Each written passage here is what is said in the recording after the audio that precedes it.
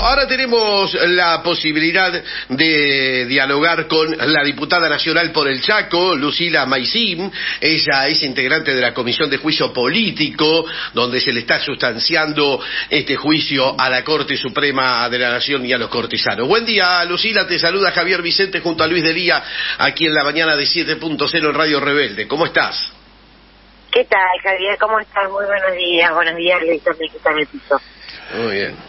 Eh, eh, Lucila, eh, ¿siguen las actuaciones, siguen tomando testimonios allí en la Comisión de Juicio Político o ya están a punto de, resolver, digamos, eh, en, la, en la comisión? No, no, no, ahí hay todo un, reglamento que también hay que continuar, hay que seguir.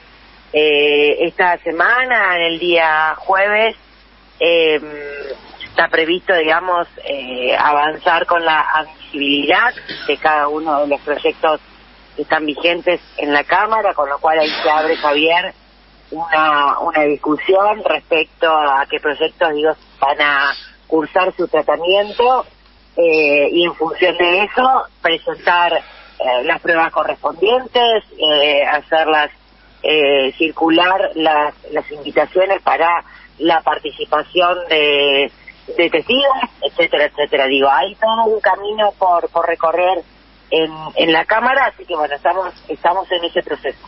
Eh, hemos visto testigos, testimonios que realmente este, causaron impresión, ¿no es cierto? El otro día charlábamos con, con esta compañera santafesina que fue víctima justamente de la impunidad que le brindaba Rosati a los torturadores, eh, lo de Norita Cortinias, y también en ese sentido el pedido que ha hecho la coalición cívica de alguna manera corrobora lo que se está tramitando allí, ¿no es cierto, Lucina?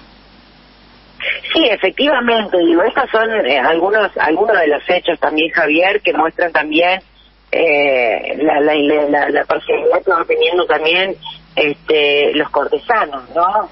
Eh, digo, porque me parece también está, es, es importante aclarar que lo que estamos jugando no es el, sistema institucional de la Corte, sino quienes integran la Corte, que son cosas distintas. Y en función de eso, digo, de poder ir eh, identificando eh, acciones eh, y sentencias que ha decidido eh, la Corte Suprema de Justicia que no lo tiene que ver o de alguna manera tampoco responde o da garantía efectiva a los derechos consagrados por Constitución o los derechos y garantías del pueblo argentino en su conjunto. Digo, para ser mucho más gráfica, digo, uno de los argumentos que se vierte para poder avanzar en el discurso político tiene que ver con eh, los recursos que son coparticipables y que en el caso de nuestra provincia, de aquellos que somos de, de, las provincias de, de, nuestra, de nuestro país, digo, nos quedamos sin esos recursos para poder pensar en mejorarle la calidad de vida eh, a nuestro pueblo, que tiene que ver con el acceso eh, al agua, a la luz, a cloacas, a rutas, etcétera, eh, pero también digo de poder pensar eh, cómo funciona el Consejo de la Magistratura, en fin, hay muchísimas irregularidades que demuestran este, que la Corte, con los integrantes de la Corte Suprema de Justicia, eh, digo, fallan eh, y, presentan estos fallos en función de, de, de, este juego de poder y sobre todo también respondiendo a determinados intereses y que nosotros queremos discutirlo, por supuesto, en, en el Congreso de la Nación, que es la Casa de la Democracia y es la Casa del Pueblo. Eh, Lucila, buen día. Luis Delía habla. ¿Qué tal? ¿Qué tal, Luis? ¿Cómo estás? Muy buenos días. Buen día, bien, bien, muy bien.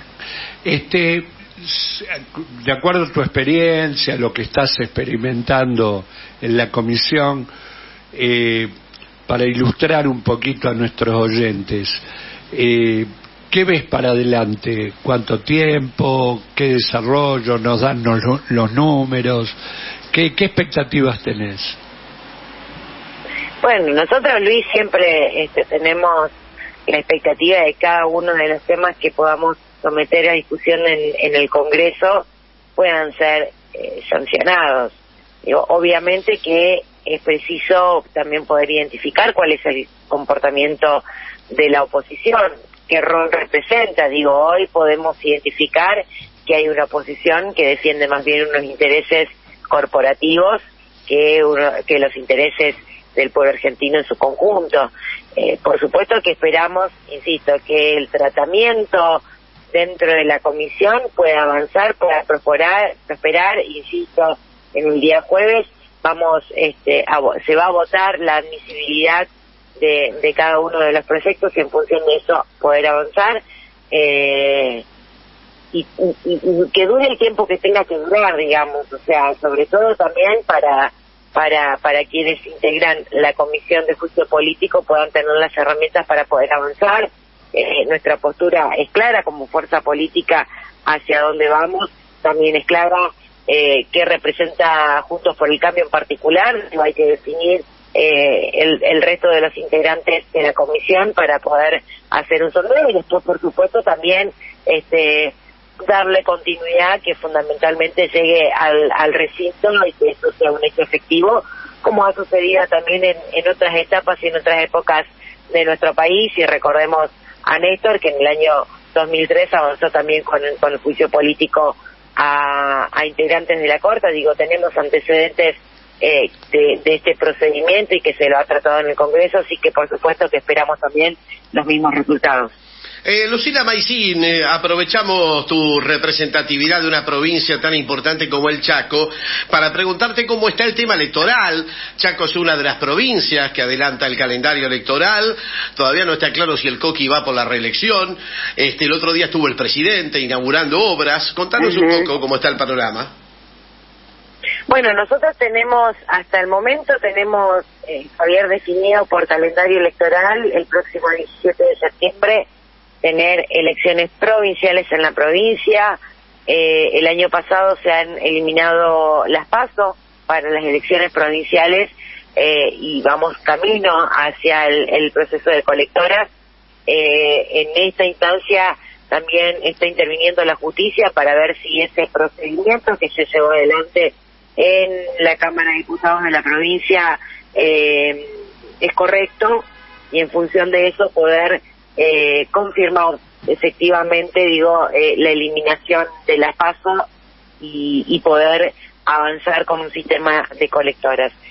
Por supuesto que, que todos los días en, en, la provincia se trabaja para para que bueno para que nuestro pueblo pueda ser mejor hemos eh, como bien lo decías vos la semana pasada eh, se han se inaugurado en Fuerte Esperanza en Esperanza en la zona del impenetrable chaqueño, un centro de desarrollo infantil que para nuestra población criolla, indígena, es indispensable poder tener el acceso a estos espacios para, para poder brindar calidad y cuidado en, en el desarrollo de la primera infancia, pero también, digo, es importante destacar eh, los kilómetros de rutas de pavimentación que se está haciendo en el impenetrable, que eh, recordemos también son zonas este, muy abnegadas, que son zonas, ah, zonas eh, olvidadas muchas veces.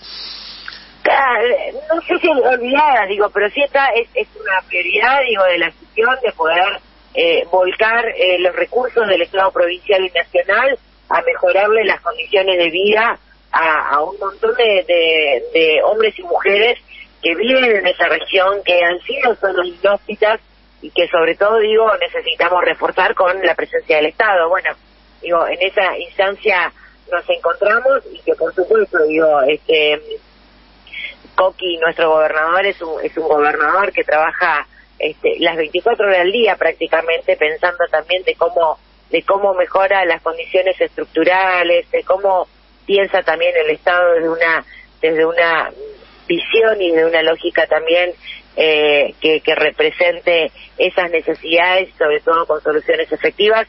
Así que bueno, este, este año va a ser un año muy importante, no solo para la provincia, sino también para nuestro país y estamos trabajando en eso. Claro, claro. Hoy justamente anuncian al mediodía este, cuál va a ser el ofrecimiento de la gobernación a los docentes provinciales para el comienzo de las clases, ¿no? Exacto, exacto. Sí, eh, se, ha, avanzado en, en, un escenario de, de recomposición salarial con este, clausura gatillo, que es la revisión eh, de, su incremento cada tres meses. Por tanto, también este, este trabajo se viene efectuando y realizando en conjunto con los sindicatos y los gremios docentes. en articulación digo, con el Ministerio de Educación como ese rector para, para llevar también esa negociación y por supuesto que esperamos que, este, se pueda se pueda anunciar eh, una mejora salarial también para los docentes que claramente digo en, el transcurso del año pasado se los conjuntos y los acuerdos y por tanto también eso nos permitió eh, sostener los días de clase y que, y que también los pibes, las pibas, los estudiantes estén en las aulas y que la escuela también brinde esa posibilidad y esa oportunidad para, para el desarrollo de nuestro país. Así que, con enorme expectativa para el anuncio del día de hoy. Eh, Lucina Maicín, gracias, eh, gracias por esta comunicación. No va a faltar oportunidad para volver a dialogar aquí en el aire de la rebelde. Cómo no, a disposición y bueno, que tengan muy buena jornada.